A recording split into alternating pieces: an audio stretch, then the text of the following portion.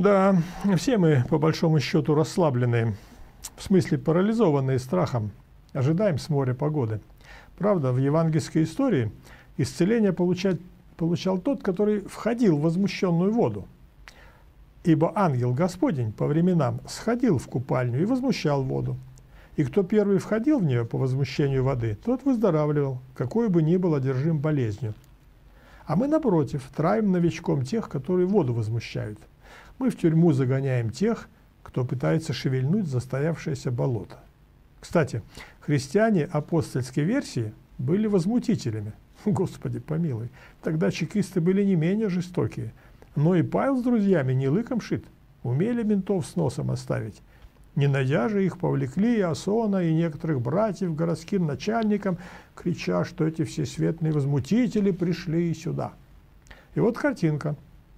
Как и тогда, великое множество больных, слепых, хромых, иссохших нуждаются в освобождении. Они поражены болезнями всякого рода. Их дух сломлен, души их отравлены ядом неверия. Смерть дышит им в лицо. Они нуждаются в исцелении. Их окружают гвардейцы, полицейские, чекисты всех мастей.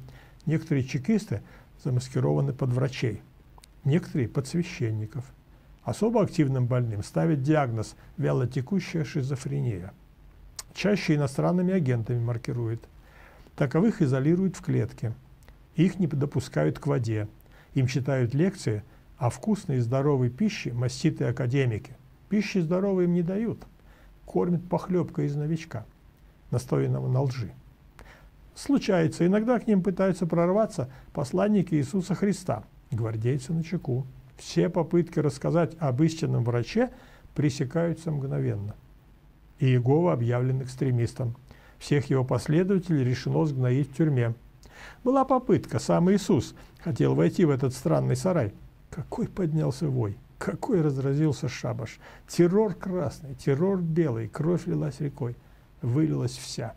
Обескровленная земля, обездвиженная, изнасилованная, парализованная. Сквозь грохот парадов и вой гиперзвуковых ракет проникает тихий голос Спасителя. Иисус говорит, хочешь ли быть здоров? Тогда один парень выразил желание и получил свободу. Иисус говорит ему, встань, возьми постель твою и ходи. Кстати, я тоже восхотел быть свободным и не пожалел. Так что давай, мой брат, пока не поздно, решай. Господь зовет тебя.